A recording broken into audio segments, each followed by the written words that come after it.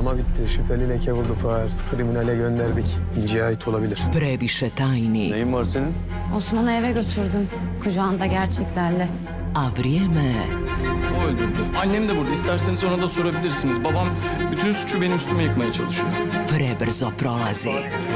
Kalmadan paketleyelim şunu. Gözaltı süresi doluyor kıvırcığın ya. Vakit daralıyor. Yürü bakalım. Obiteljske tajne. Samo Vojo.